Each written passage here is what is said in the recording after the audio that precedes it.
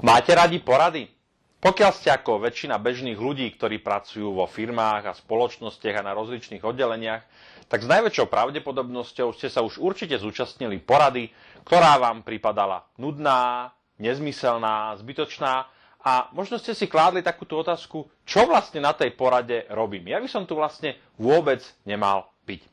A pritom by pre dobrú poradu stačilo urobiť naozaj málo. Neorganizovať ju tradičným, štandardným, bežným spôsobom, ale jednoducho si urobiť tzv. virtuálnu poradu. Chcete vedieť, čo to je virtuálna porada a ako sa na ňu pripraviť, ako ju zorganizovať? Zostaňte so mnou a povieme si o tom viacej.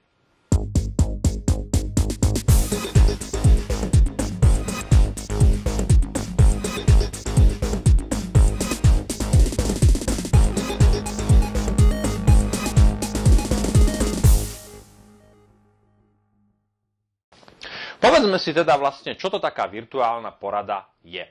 Ako už samotný názov napovedá, virtuálna porada je taká porada, na ktorej sa fyzicky nemusíte zúčastniť. Už toto samotné znie celkom dobre, nie? Porada, na ktorú nemusíte prísť.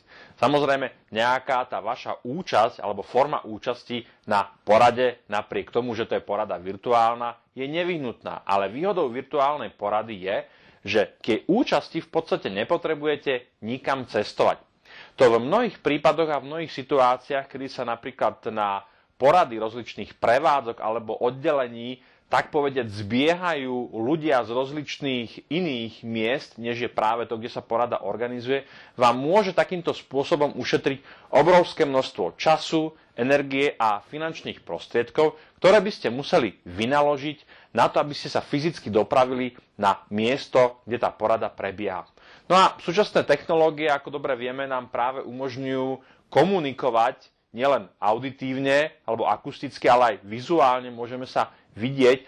Takže otázkou zostáva, na čo vlastne zvolávať porady, kde nemusíme byť fyzicky prítomní.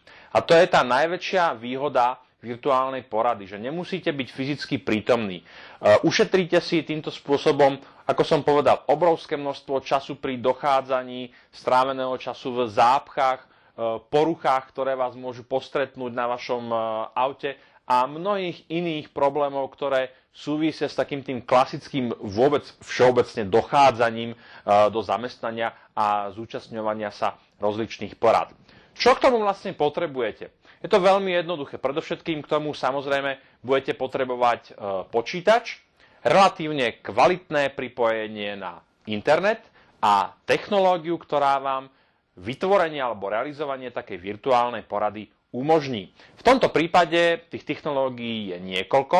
V tomto konkrétnom príklade, o ktorom budem hovoriť ďalej, budeme využívať technológiu Google Hangout a ja vás prevediem krok za krokom takým spôsobom, aby ste si aj vy sami pre seba alebo pre svoj tím dokázali zorganizovať virtuálnu poradu.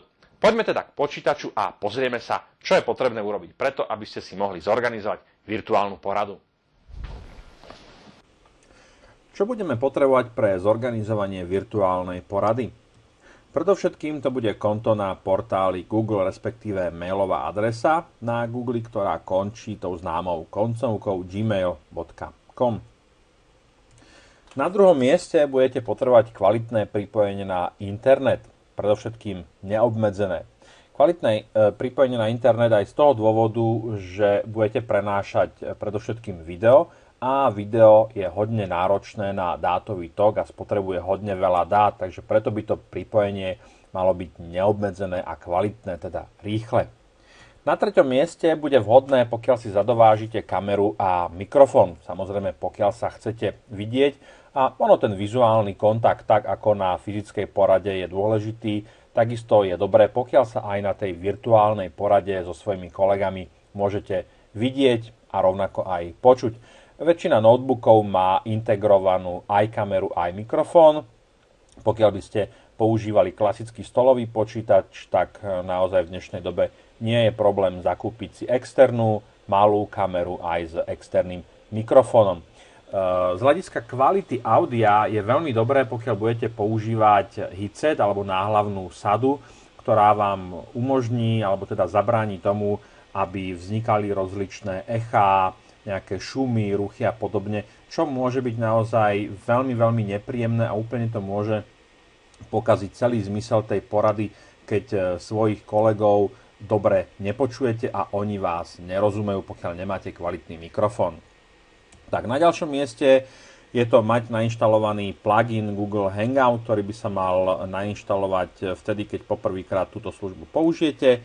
No a samozrejme určite je dobré, pokiaľ predtým, než sa pustíte do samotnej porady, ste trošku oboznámení s tým prostredím Google Hangout, aby ste vedeli využívať všetky jeho funkcionality. No a ako to vyzerá v tom prostredí Google Hangout, to si ukážeme v nasledujúcej časti. Do rozhrania Google Hangout sa dostanete pomerne jednoducho. Stačí si do vyhľadávača zadať slovičko Google Hangout a dostanete sa k výsledkom vyhľadávania, kde na prvom mieste vidíte Google Hangout. Takže si na to klikneme a dostaneme sa na takúto úvodnú obrazovku, kde sa môžeme prihlásiť priamo do služby Google Hangout alebo sa k nej pripojiť. Takže prihlásime sa práve tou vašou e-mailovou adresou s koncovkou gmail.com a dostaneme sa opäť o krok ďalej do takého rozhrania Google+, kde uh, vidíte taký ten dátový tok, informačný tok, ktorý sa podobá tomu, čo uh, vidíte napríklad u seba na Facebooku, pokiaľ používate Facebook. A tu nám vlastne máte opäť nejaké informácie z vašich kruhov a podobne. Dôležité je toto rozbalovacie menu na ľavej strane, kde je opäť na výber z rozličných možností, ale teraz nás bude zaujímať len Hangouts on Air. Klikneme si na to a tým sa zase dostaneme o krok ďalej. Na tejto stránke vidíte aktuálne vysielané živé hangouty, takže vidíte, že ľudia to využívajú na kadečo, pracovné porady, osobné rozhovory, dokonca aj myslím, že veľké televízne stanice to používajú, keď chcú z nejakého štúdia urobiť nejakú reláciu. No a čo je ešte dôležité, alebo čo je ešte dôležitejšie, než to, čo aktuálne tu vidíte, je, že chceme začať Google Hangout alebo Hangout on Air, takže klikneme si na to a tým sa dostaneme do takého už samotného rozhrania a predtým, než vlastne akoby začneme s takým tým vysielaním, tak je dôležité nazvať nejako e, ten náš hangout, takže nazveme ho porada. V tomto riadku máme možnosť pridať akoby e, ľudí, ktorí chceme, aby sa zúčastnili toho hangoutu. Môžeme pridávať tých účastníkov tej porady buď e, jednotlivo, alebo môžeme vytvoriť tzv. kruh alebo kruhy. Vidíte, že ja tu mám niekoľko kruhov, priatelia, rodina, známi, biznis partneri a tak ďalej Povedzme, že by som chcel urobiť nejakú prezentáciu pre svojich biznis partnerov, kliknem si tam, automaticky sa mi to pridá do toho rozhrania a môžem pozvať všetkých biznis partnerov naraz na tú poradu napríklad. Vy tam môžete mať napríklad kolegovia z práce alebo členovia oddelenia, kliknite si, vytvoríte si taký kruh, popridávate alebo vytvoríte si taký kruh, tomu sa nebudeme teraz venovať, ako sa taký kruh vytvára, ale povedzme, že e, potrebujete teda tých ľudí pridať do toho kruhu a pošlete im nejakú pozvánku. Tak teraz nechcem, aby som tam tých biznis partnerov pozval, tak to odkliknem preč. Dôležitá informácia, váš YouTube účet je prepojený s vašim Google Plus účtom, znamená to, že Hangout, ktorý budete vysielať, sa automaticky nahráva na váš YouTube kanál, čo je veľmi šikovná eh, funkcia, ktorá vám umožňuje potom niekedy v budúcnosti, či vám alebo členom vášho týmu sa k záznamu z tej porady vrátiť. Tak, teraz začneme. Tak, tu na, vidíte teda, ak máte spustenú videokameru, tak sa už budete aj eh, vidieť. Máme takéto základné rozhranie. Vidíte, rozšírim si to na celú obrazovku. A tu nám vlastne máme akoby také dve časti. tá stredná časť, tu na vidíte, že pripravuje sa vysielanie, to znamená, že tá porada ešte nie je úplne celkom pripravená na vysielanie, ale pripravuje sa, tu máme názov hej, a je tu bez vysielania, že sa to ešte nevysiela von. To znamená, že vy sa akoby môžete s tým hrať, s tým nastavením toho Google Hangoutu, tak povediať, akoby sami pre seba, nemusí to nikto vidieť. Dôležité, tu na nastavenie mikrofónu, vidíte tu na tieto guličky zelené, červené indikujú, že audio by malo byť v poriadku, že by ma malo byť počuť. Keby som chcela, aby ma nebolo počuť, kliknem na ikonku vypnúť mikrofón a zmizne zvuk. Rovnako je to aj s kamerou. Vypnúť kameru, hej, chcete si odbehnúť na cik pauzu alebo na cigaretku, nechcete, aby bolo vidieť, že zrovna nie ste prítomní uh, pri počítači, tak vypnete kameru aj zvuk a nikto nevie, že tam nie ste, pokiaľ vám nepoložia nejakú otázku a opäť ste sa vrátili, zapnete kameru a ste tam. Nastavenie môžete si voliť, aj napríklad máte niekoľko videokamier napríklad, hej, takže si môžete zvoliť, ktorú budete používať, rovnako je to aj s mikrofónom. Je dobré skutočne predtým, než začnete e, ten váš prvý hangout, e, skutočne to trošku obšlať, obšlapať, aby naozaj ľudia vás videli aj počuli. Tak, to je tá pravá strana, poďme na ľavú stranu. Povedzme, že na niekoho ste zabudli, chcete ho dodatočne prizvať, pozvať, opäť kliknete na ikonku pozvať ľudí, vložíte mailovú adresu, kliknete odoslať, človeku automaticky ide pozvánka s linkom, kde sa môže pripojiť na tú vašu poradu. Ikonka rozhovor slúži na to, všimnite si pravú stranu, kliknem na rozhovor, otvorí sa nám takéto četovacie okienko, kde môžem účastníkov pozdraviť, niečo im napísať. Funguje to aj s mailovými adresami, takže pokiaľ máte nejaký zaujímavý link, ktorý chcete sprostredkovať svojim kolegom, ktorí sa podielajú na tej porade, tak tam môžete vložiť aj e, webovú adresu, ktorá je klikateľná, takže môžu na to kliknúť. E, chcem to napríklad vypnúť, dať to preč ten chat, aby mi tam nezavadzal. Opäť kliknem naspäť, zmizne to. Je dobré na začiatku položiť tú otázku, vidíte ma, počujete ma, získať nejaký feedback od tých vašich kolegov, aby ste teda mali uh, jasno v tom, či ste viditeľní a počuteľní, pretože toto je pri tej virtuálnej porade je to samozrejme najdôležitejšie. Poďme ďalej.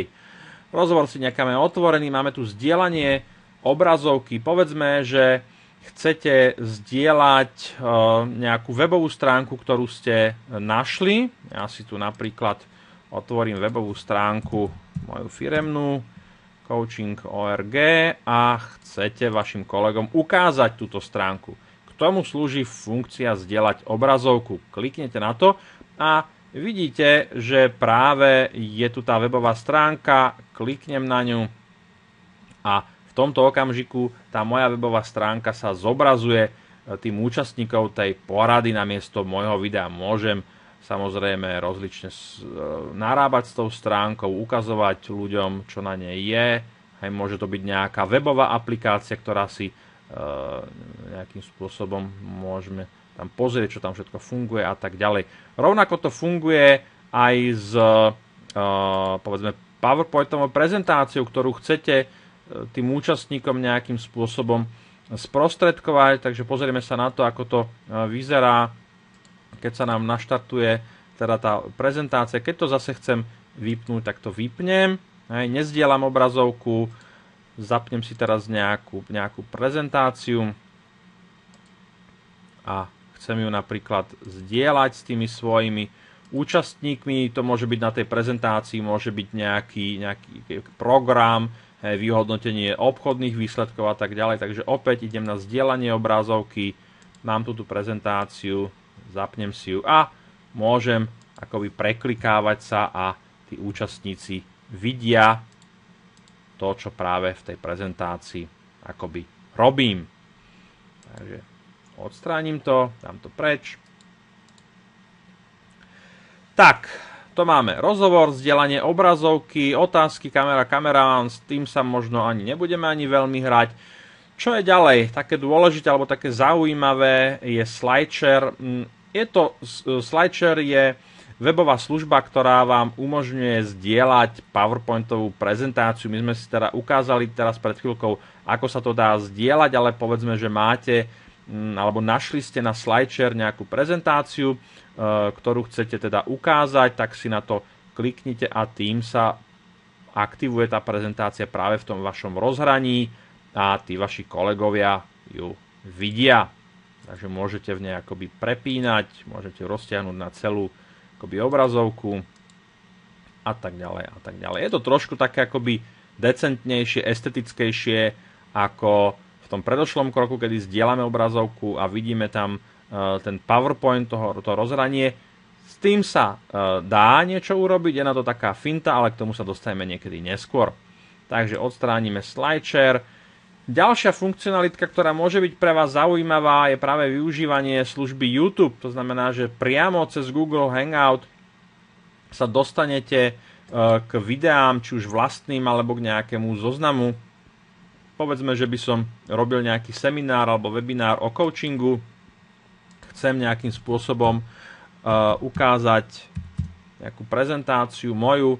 Pridám si povedzme tieto tri videá do toho zoznamu a vytvorím si tak akoby taký vlastný zoznam tých videí a tie samozrejme môžem potom púšťať tým účastníkom. Hej? Nemusím otvárať pracne webovú stránku, ísť do prehľadača a tak ďalej, ale priamo z toho rozhrania sa môžem e, dostať k tým, e, k tým videám môžem to tým ľuďom ukázať. Napríklad sa môžem vrátiť k tej porade, ktorú, ako som povedal na začiatku, máme už nahratú v tom rozhraní, respektíve na tom YouTube účte, takže aj s tým môžeme potom pracovať. Keď to nechceme, každá tá funkcionalita sa dá akoby vrátiť naspäť tým, že na ňu znovu klikneme. Posledná taká zaujímavá, zaujímavá funkcionalitka, ktorá tu je, tzv. Hangout Toolbox, kedy sa nám akoby otvorí pravé okno. Také, čo je najzaujímavejšie pre mňa, e, je využívanie e, takého toho toolboxu, s popisom, alebo teda vašim menom a nejakou webovou adresou. Povedzme, ja organizujem webináre a na tých webinároch chcem ľuďom teda ukázať, že aké mám meno a tak ďalej. A je to vlastne relatívne jednoduché, len mi to teraz nejak nefunguje. Hej tým prepínaním by sa práve tá funkcionalita mala akoby naštartovať. Skúsime ešte raz. A v tejto dolnej, dolnej časti, tu na ľavo dole, by sa práve malo ukázať akoby to e, meno vaše aj s tým titulkom, ktorý tu na napríklad vidíte. Takže celkom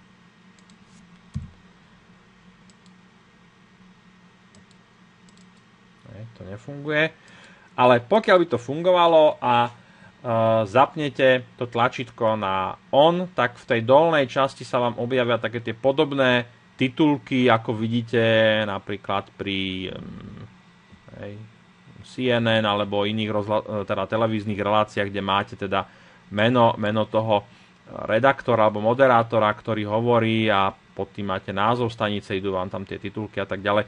Je to dôležité dať si tamto meno, práve, práve vtedy, keď napríklad sa zúčastňuje na tom webinári niekoľko ľudí alebo viacero ľudí, ktorí sa napríklad nepoznajú a aby sa mohli akoby oslovať menami, tak je dobré, aby v tej dolnej časti to meno bolo nejakým spôsobom zaznamenané. Pokiaľ sa ale všetci poznáte, tak je to v podstate jedno, to meno tam potom nemusí byť, takže No, môžeme zrušiť. Ešte to skúsim, či náhodou sa to tam neaktivuje. Nie. Aj, kedy si to si môžem meniť logo, si môžem pridať do toho mena a tak. Takže také, také tie vecičky, ktoré skôr prispievajú k nejakej estetike toho vysielania. No, možno na niektorých mojich webinároch ste si všimli, že to tam mám. Tak, takže to by bolo asi všetko k takým tým základným možnostiam, uh, Google Hangout. No a samozrejme na záver, keď to všetko prejdete, to, túto ľavú lištu si môžeme akoby schovať cez to okienko. Najdôležitejšia vec, spustiť vysielanie. Hej, pokiaľ, pokiaľ akoby to vysielanie nie je spustené, no tak jednoducho ste len vysielate len sami, sami pre seba, ostatní sa môžu pripojiť, ale nevytvoríte ten konferenčný hovor, nevytvoríte tú virtuálnu poradu. Takže posledný krok predtým, než e, sa rozhodnete ísť akoby naživo do sveta, je spustiť vysielanie. Ešte spomeniem jednu poslednú vec, tu na tento počerknutý textík vložiť. Môžete napríklad svojim kolegom, ktorí chcete, aby boli napríklad prítomní na tej porade, ale len sa pozerali, neboli akoby priamo účastní, tak poslať napríklad link na Facebook, YouTube, hej, pripojte sa k našej porade a tak ďalej. Budú mať možnosť uh, vidieť alebo uh, sledovať tú vašu poradu, len napríklad nebudú mať možnosť, povedzme, vstupovať do toho chatu, do toho rozhovoru a tak ďalej, ale budú to môcť sledovať. Rovnako môžete akoby ten iframe vložiť na nejakú webovú stránku a takisto umožniť akoby ľuďom zvonka sledovať to vysielanie. Tak ja dúfam, že som nezabudol skutočne na nič dôležité, ale keby náhodou predsa len, tak kľudne položte mi otázky, ktoré sa týkajú Google Hangoutu do, do komentárov. Buď na ne odpoviem písomne, alebo na ne urobím nejaké to uh, videjko. Myslím si, že v tomto okamžiku je to z mojej strany všetko. Dúfam, že vám som týmto nejakým spôsobom pomohol a že sa nebudete báť skutočne urobiť tú virtuálnu poradu, pretože naozaj je to niečo, čo vám môže ušetriť strašne veľa času, energie, peňazí, stresov, ktoré budete zažívať v rozličných dopravných e, zápchách.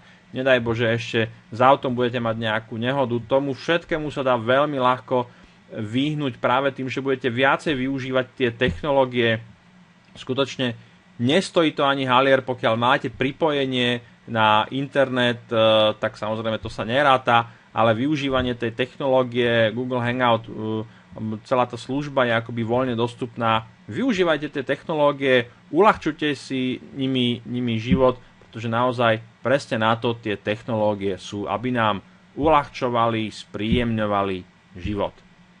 Držím vám palce, nech už robíte, čo robíte, ak budete mať nejaké otázky, samozrejme do komentárov, takisto budem veľmi vďačný za nejaké lajkovanie, zdieľanie. Ak si myslíte, že by to mohlo byť pre niekoho užitočné táto informácia o virtuálnych poradách, pošlite to tomu človečikovi, budem vám za to veľmi vďačný. Z mojej strany je to naozaj všetko, prajem vám príjemný dobrý deň alebo večer, nech sa už nachádzate v ktorejkoľvek časti dňa a vidíme sa niekedy na budúce. Majte sa. you